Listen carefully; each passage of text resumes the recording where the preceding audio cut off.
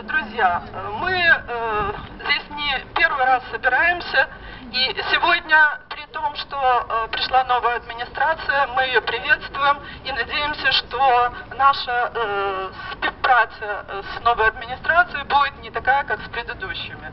Э, Поэтому от организации «Захистимо Одессу разом» мы обращаемся с обращением по поводу проведения вот этой так называемой фотовыставки названием «Одесская хатынь». Э, Проведение в Одессе серии публичных акций под общим названием «Одесская хатынь» является непамятным мероприятием, посвященным трагедии 2 мая 2014 года, а военной операции России, проводимой в рамках общей военной кампании «Гибридная война». Сам лозунг «Одесская хатынь» был придуман э, российскими специалистами э, по гибридной войне. Первые часы после трагедии, еще задолго, как независимые эксперты составили картину произошедшего, авторов этого лозунга вообще не интересовало, что именно произошло в Одессе. Их задача была придумать образ, побуждающий ненависть людям. Термин «одесская хатынь» не имеет никакого отношения ни к свободе слова, ни к свободе информации. Это стопроцентный провокационный призыв к крови и насилию. Это российский вариант знаменитого марша нацистов песня Хорста Весела. Его можно сравнить и со знаменитой в советское время пропаганды, пропагандистской притчей о Павлике Морозове.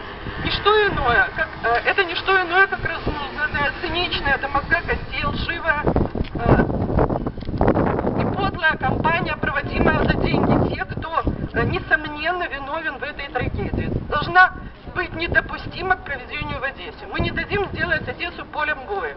Недопустимо, прикрываясь демократией и свободой слова в условиях войны экономического спада, использовать недовольство населения в сепаратистских целях. Требуем от руководства АГА немедленно вмешаться и прекратить эту провокацию. Напоминаем, что попустительство и безволие предыдущего руководства АГА весной 2014 года привело к трагедии 2 мая. Надеемся, что нынешнее руководство сделает правильные выводы из ошибок попередников и не допустит в Одессе сепаратистского реванша.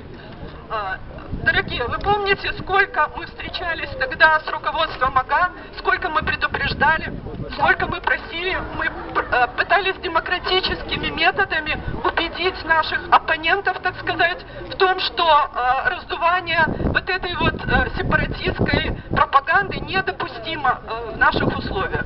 Это было все бесполезно, потому что на самом деле это не оппоненты, а люди, которым платят деньги. Это люди, которые отрабатывают свои деньги. Поэтому все наши увещевания были абсолютно бесполезны. И вот это попустительство привело сначала к тому, что на Куликовом поле э, были сборища, потом там начались баррикады, и потом это привело просто к трагическим событиям. Я думаю, что сегодня, э, я думаю, что у нас достаточно вменяемое руководство э, областной администрации, которое поймет опасность этой ситуации и на от разных организаций подали, в общем-то, обращение.